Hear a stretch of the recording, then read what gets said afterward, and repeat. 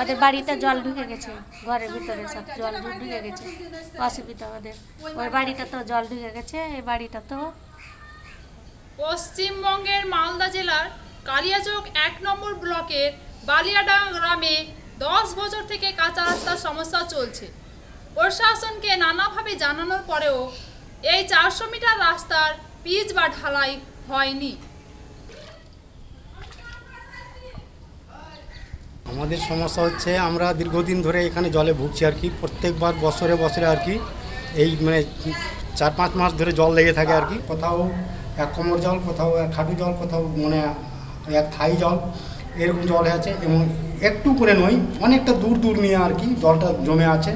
আমাদের যাতায়াতের খুবই অসুবিধা হচ্ছে। বালিয়াডাঙ্গা গ্রামে মোট জনসংখ্যা ছশো। ওই গ্রামের চারশো মিটার রাস্তা দশ বছর ধরে বেহাল অবস্থায় পড়ে রয়েছে। ওই গ্রামেরই বাসিন্দা এসরাজুল ইসলাম, তিনিও এই সমস্যায় ভুগছেন। বছরে চার মাস, বিশেষ করে বর্ষার সময় এই রাস্তা চলাচলের একদম অযোগ্য হয়ে পড়ে। প্রত্যেক দিন মানে যে কোনো কাজেই যাচ্ছে আর কি, এই বাড়ি থেকে নামার সঙ্গে সঙ্গে জল পেরোতে হচ্ছে। জল থেকে বাঁচার জন্য এই রাস্তা দিয়ে এটুকু পার হয়ে গিয়ে অন্যজনের বাড়িতে যাচ্ছি, বাড়িতে গিয়ে মোয়ের ওপর চেপে তারপরে কোথাও কাজে যেতে হচ্ছে। আবার যখন কাজ সেরে আবার এটা দিয়ে ব্যাক করে এইভাবে আমাদের আসতে হচ্ছে। জল কাদা হয়ে থাকার জন্য এসরাজুলের মতো ওই গ্রামের মানুষও চলাচল করতে পারেন না। এমনকি বর্ষার সময় বুক সমান জল দাঁড়িয়ে যায়।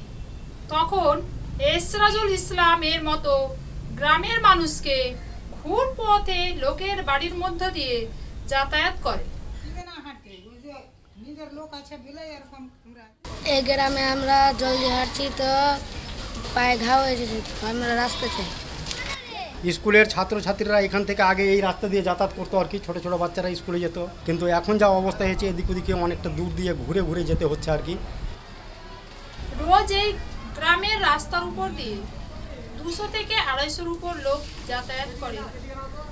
স্কুল ছাত্রছাত্রী, কৃষিজীবী মানুষ, চাকরিজীবী মানুষ এবং নামাজ পড়তে গেলেও গ্রামের মানুষ এই রাস্তাটিকেই ব্যবহার করে।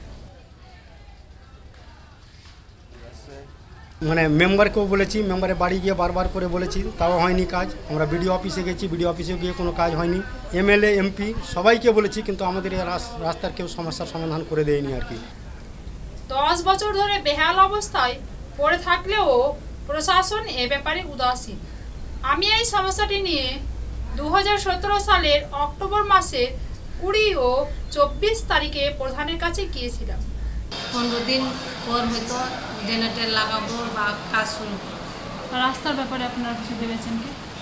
রাস্তার ব্যাপারে যে কাজ হলে স্কিম ধরবে। বালিয়াডাঙ্গা গ্রামে যেন খুব তাড়াতাড়ি পাকা রাস্তা হয়ে যায়। এই জন্য ফোন করুন কালিয়াচক দুই নম্বর পঞ্চায়েত প্রধান Karima খাতুনকে nine seven three two eight zero four two six five নম্বরে আমি সরিয়া বানু পশ্চিমবঙ্গের মালদা জেলা থেকে ইন্ডিয়ান হাটের পক্ষে।